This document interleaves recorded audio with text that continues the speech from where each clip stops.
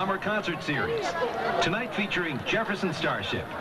Before the show gets underway, we'd like to invite you to stop by the Eagle 93.7 booth. There you can purchase official Eagle apparel, including hats and t-shirts by the corporate image, and comfortable seat cushions, off which some of the sales benefit Rosie's Place, a sanctuary for poor and homeless women on behalf of Frugal Fannies and Eagle 93.7. Look in your seat cushion pocket for your lucky ticket. It could win you a $500 gift certificate from Frugal Fannies. The Eagle 93.7 70 Summer Concert Series on City Hall Plaza. Brought to you by Jefferson Connect Plus and the Satellite Entertainment Center. tonight, Visit the hey! Connect Plus and Satellite Entertainment Centers. Make some noise, everybody's pumped! Hey! You guys look great. Kim Collins from Eagle 93.7. I'm Bill Smith. We've got Stella Mars here. We have my pal in the morning, Lori Duchesne. Thank you so much for turning out. What a great, great, great night. A couple of things to take care of first. Stella. Hi there. I'm on every day from 9 to 2. I'm the voice that you hear in your office, at your shop, at the beach. I could use a better tan. Let's go to the beach more often together. The person I work with every morning at Eagle 93.7 is Lori Duchesne. Please give her a nice round of applause. I just want to once again thank you all for coming out. Thank you for being a part of the Eagle Summer Concert Series, and thanks for listening. And we're so happy to be involved with the City of Boston on this project. Now Bill has a couple of thanks as well. Here we go. The moment comes now. We'd like to thank uh, the City of Boston's all possible, Mayor Tom Menino.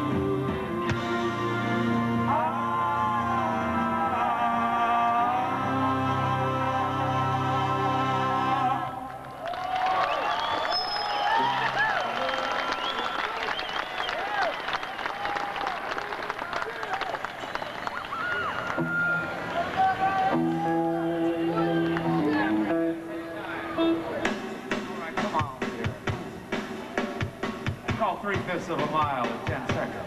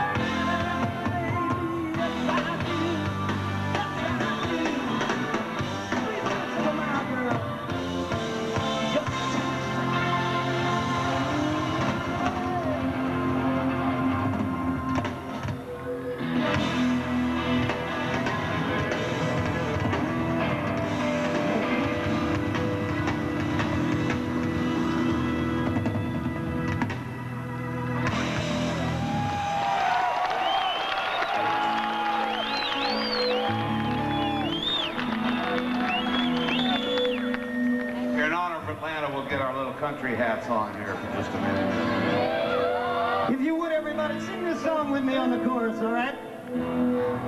Help me out here with this humidity. There's a little song called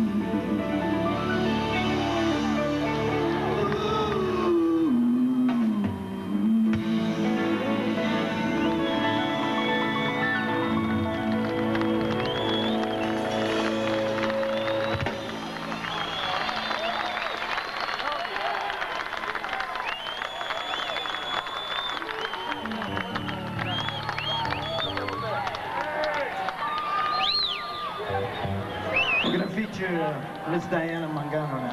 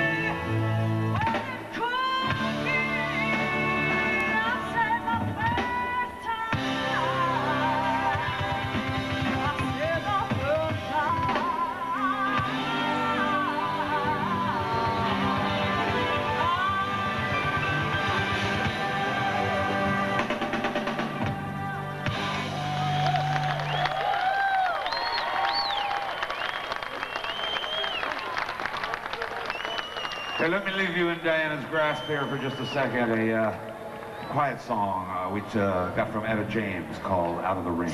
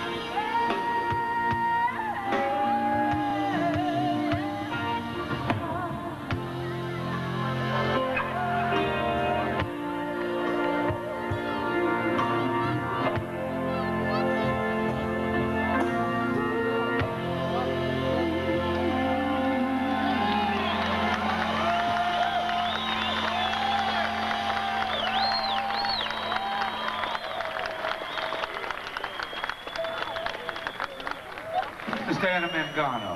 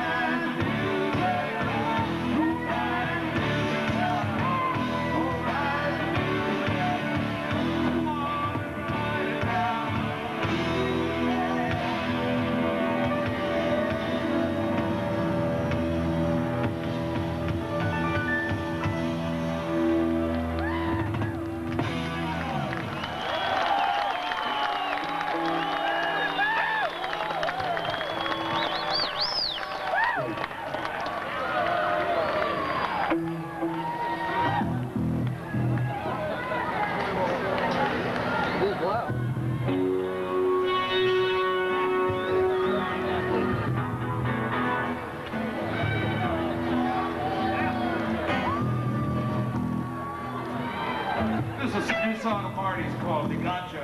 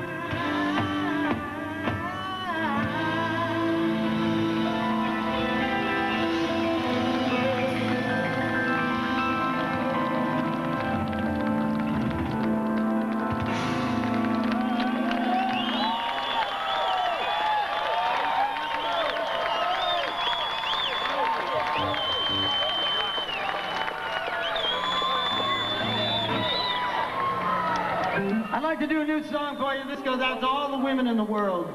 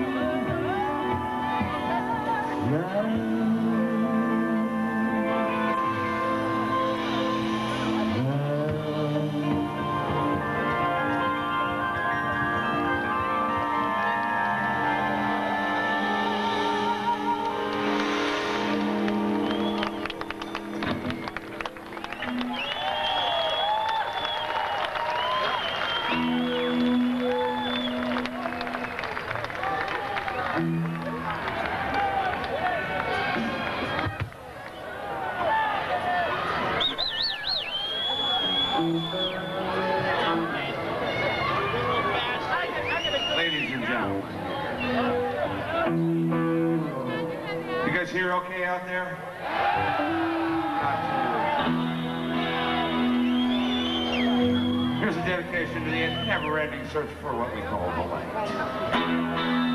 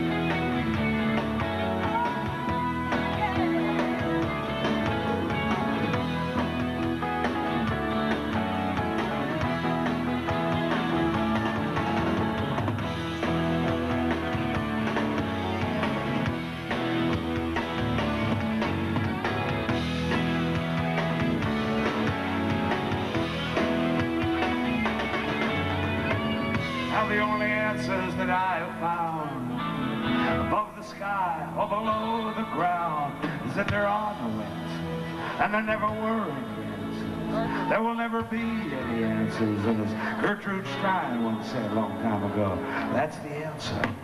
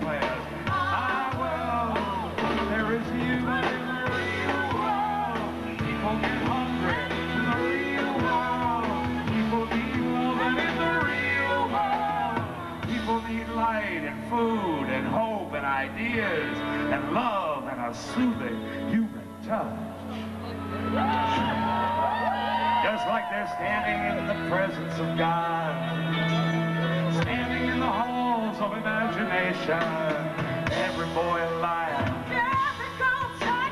Just takes a moment to step through the fire, and Trebek is from above.